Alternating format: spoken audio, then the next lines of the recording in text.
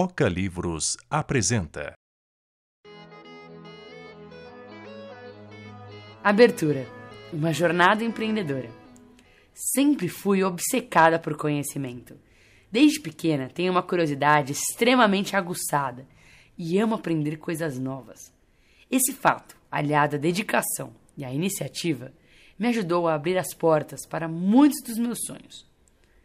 Muitas vezes entrei em terrenos completamente desconhecidos, que me levaram a participar de aventuras deliciosas e extremamente inesperadas. Por exemplo, o grande e improvável sonho de estudar no Massachusetts Institute of Technology, o MIT, uma das mais conceituadas universidades de tecnologia do mundo, tornou-se realidade em 2006. Quando isso aconteceu, eu queria agarrar o mundo com as mãos e aprender o máximo possível. Com a mente aberta para experimentar aulas diferentes e fazer parte de vários programas e competições, acabei descobrindo que o empreendedorismo é uma das minhas maiores paixões. Em 2009, me mudei para o Vale do Silício, na Califórnia, e dediquei-me a essa paixão que é o empreendedorismo. Mergulhei com tudo no mercado de startups, empresas jovens e inovadoras que buscam um modelo de negócio escalável e sustentável. Desde então, Sigo centenas de blogs sobre empresas, investidores, empreendedores e tendências do ambiente de startups. Leio vários livros a cada mês sobre os mais diferentes aspectos envolvidos em criar uma startup, desde como escolher um modelo de negócio até como motivar equipes. Encontro-me com dezenas de pessoas a cada semana e aprendo muito quando elas dividem comigo as suas histórias e conselhos. Mas acima de tudo, ser empreendedor é colocar a mão na massa. Nos últimos anos, trabalhei em vários ambientes diferentes, sempre com o foco em aprender cada vez mais sobre como se constrói uma empresa. Trabalhei em empresas grandes que ainda mantêm a veia empreendedora. Na Microsoft, fiz parte do Office Labs, um setor que se dedica a inovações relacionadas à produtividade. Lá, aos 19 anos, tive a chance de liderar uma equipe e administrar projetos do começo ao fim foi uma experiência fenomenal. Alguns anos depois, trabalhei na Google, no setor de pesquisas para inovar os sistemas por trás do tradutor da Google. Aprendi muito sobre como criar a mágica que existe ao redor de vários produtos que usamos no dia a dia. Para contrastar com empresas grandes e estabelecidas, trabalhei também em companhias que começaram a sua jornada há pouco tempo. Na Uyala, empresa com foco na administração e monetização de vídeos online, aprendi muito sobre empreendedorismo ao liderar três equipes de engenheiros. Vi a empresa quadriplicar de tamanho. Na Lehman, fiz parte da equipe fundadora e vivi na pele o que é começar uma empresa do zero. Antes disso, eu já havia me aventurado na criação de muitos outros projetos. É impressionante o quanto é possível aprender com cada projeto. Em 2013, voltei ao Brasil para fundar a Fase Nova, uma plataforma que ajuda as pessoas a realizarem seus sonhos e que já conta com mais de 75 mil usuários. Estou aprendendo muito na Fase Nova e sou muito grata à minha equipe e clientes por me fazerem crescer a cada dia. Tenho plena consciência de que ainda há muito mais a aprender e que estarei nessa aventura empreendedora por anos e anos à frente. Mas queria, desde já, dividir com vocês alguns dos aprendizados que tive até agora. Sou extremamente grata às várias pessoas que me ajudaram durante esses anos e este livro é uma maneira de retribuir um pouquinho do muito que elas fazem por mim. A grande maioria das lições que o Vale do Silício me ensinou pode ser usada em qualquer lugar do mundo.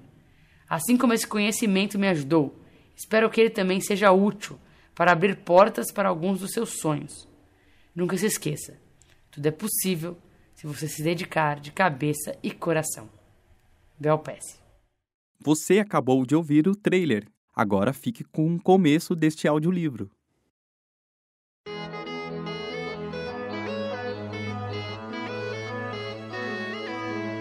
Bel Pesce apresenta A Menina do Vale.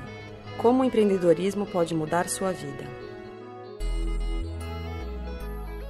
Prefácio a Realidade que Inspira, por Flávio Augusto, presidente do Omets Group e criador do Instituto Geração de Valor.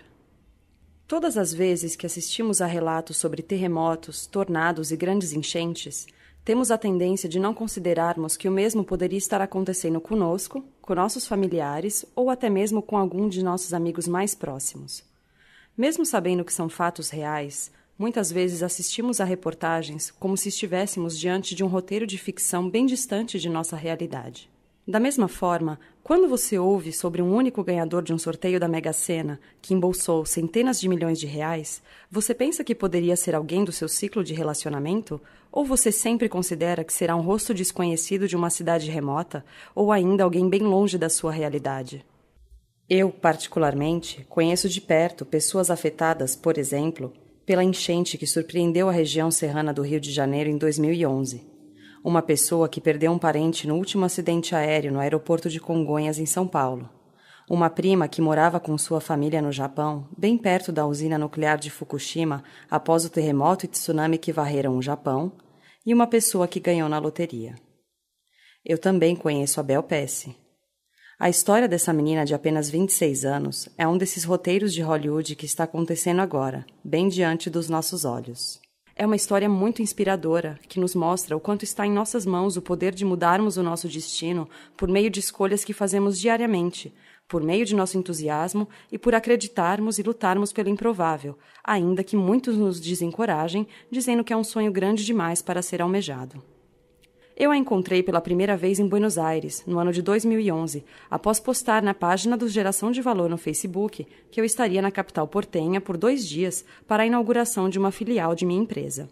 Como Bel também estaria lá nesse mesmo período para uma visita aos engenheiros que trabalham no escritório de uma empresa que ela ajudou a fundar e que tem sua sede no Vale do Silício, ela me mandou uma mensagem por meio do Facebook, propondo tomarmos um café. Em nosso encontro, em pouco tempo pude perceber que estava diante de uma pessoa entusiasta, com um enorme brilho nos olhos, muitos projetos e energia para realizá-los. A palavra impossível certamente já tinha sido expulsa do seu dicionário há algum tempo e pude perceber que estava diante de alguém que ainda daria muito o que falar. De nosso café, fiz o convite para gravarmos um vídeo, o GV8, que rapidamente alcançou a marca de um milhão de visualizações no YouTube. A trajetória de Belpécia é muito rica, mas sem nunca deixar a simplicidade de lado. É arrojada e repleta de conquistas em um curto espaço de tempo. A sua inteligência e carisma, conhecimento técnico e habilidade nas relações interpessoais, coragem que transborda em seu olhar de menina, bem como seus feitos, sem nunca perder a humildade, fizeram dela um perfil raro e desejado por grandes corporações e investidores. Quando ela me contou sobre seu desejo de escrever a respeito de suas experiências no Vale do Silício com a finalidade de colaborar com jovens que estivessem iniciando suas carreiras, logo teve meu apoio. Bell, por meio deste livro, demonstra toda a sua generosidade e vontade de mudar o mundo, dando a jovens brasileiros, em meio a tantas notícias negativas, o empurrão e incentivo necessários para que eles acreditem em seu potencial. Isso tem um valor incalculável. O que posso concluir é que este livro tem o objetivo de lhe dizer: você também é capaz. Acredite e trabalhe pelos seus projetos. Você pode mudar o seu destino. A história de Bell não é uma ficção. É uma história real que pode inspirá-lo a protagonizar seu próprio roteiro. As experiências no Vale do Silício aqui descritas poderão servir de matéria-prima para a construção de ideias a fim de lhe encorajar a seguir adiante com garra, acreditando ainda mais em seu futuro. Boa leitura. Para os meus pais, com seu amor, eles me provaram que o infinito existe. Agradecimentos. Criar um livro requer trabalho em equipe. Eu tive a grande sorte de ter a melhor equipe do mundo ao meu lado. Em 2011, ganhei na loteria da vida ao cruzar caminhos com Flávio Augusto da Silva, presidente do Mets Group e criador do Instituto Geração de Valor. Quando contei ao Flávio meus planos de escrever um livro, ele me disse que gostaria de ajudar com o projeto. Mas ajudar é pouco para descrever o quanto ele e a sua equipe se envolveram. Eles realmente abraçaram a minha ideia de uma maneira que excedeu todas as minhas expectativas. Este livro não teria existido sem o trabalho maravilhoso da agência IE, parte da Almets Group, e da editora Casa da Palavra Leia. Agradeço muito a Ana Freitas e ao Sandro Cerdezelo, a Maria João Costa, a Marta Ribas, que a cada dia me surpreenderam a oferecer ajuda com mais algum item da obra, sempre com qualidade e criatividade inigualáveis. Sem a Ana, seria impossível ter lançado a Mina do Vale online tão rapidamente e com tanta atenção ao design.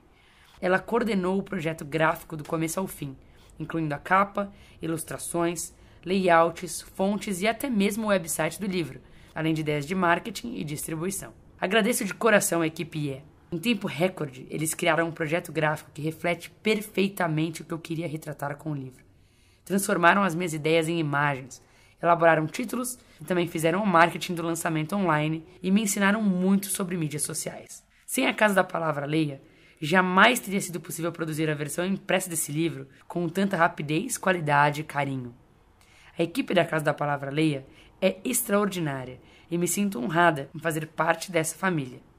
Agradeço imensamente a Maria João Costa, Marta Ribas, Thaís Marques, Fernanda Cardoso, Marina Boscato Bigarella, Raquel Maldonado, Cláudia Espinola, Miriam Lerner, Adriana Alves e ao Rodrigo Rosa. Vocês tornaram possível o grande sonho de levar este livro às mãos de mais e mais leitores. Escrever é reescrever. Agradeço ao Alexandre Oliveira, a Eliane Carone, a Adriana Julião, ao Amit Garg, ao Eduardo Lira, ao Luciano Tavares e à minha família pelas horas e horas que passaram revisando o livro e me dando sugestões de como melhorá-lo. E aos leitores que me enviaram e-mails com dicas de como aperfeiçoar a obra, muito obrigada. Sou muito grata ao Eduardo Melo, ao José Fernando Tavares e a toda a equipe do Simplíssimo eBooks, que se mostraram super dispostos a ajudar com o projeto e criaram uma versão especial do livro para facilitar a leitura em vários dispositivos digitais. Também agradeço muito a Ilha Soft, que criou aplicativos mobile com o conteúdo da obra. Mas um livro não tem valor sem seus leitores. Flávio Augusto, Marco Gomes, Manuel Lemos, Reinaldo Normandi, Diego Gomes e Pierre Schurman merecem um agradecimento gigantesco por sua enorme ajuda em divulgar o projeto. Agradeço toda a equipe da Bubox, ao time sensacional do iba.com.br e a NR7 Comunicação, por seus trabalhos de altíssima qualidade.